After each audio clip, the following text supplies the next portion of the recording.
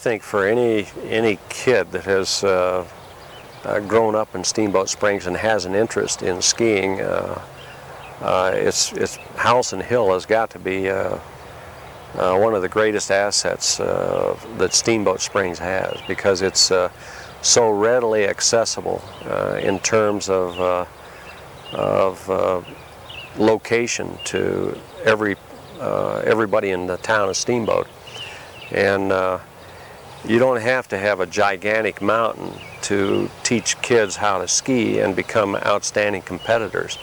I think the important thing is that the facility is there, it's, it's uh, made available and kept operating by uh, a large number of volunteer people in the, in the town of Steamboat Springs and it's a vital and important uh, uh, asset to the town of Steamboat. The, the boat tow, as I remember, I, I, don't remember the year it was built, but I can remember uh, riding the boat tow many, many times.